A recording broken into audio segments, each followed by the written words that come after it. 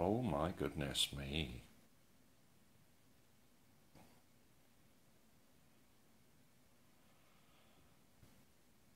Looks nicer in real life.